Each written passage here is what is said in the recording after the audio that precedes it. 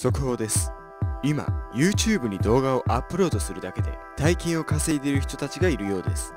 インターネットユーザーの実に87%が YouTube を利用しておりここには大きなビジネスチャンスが潜んでいます。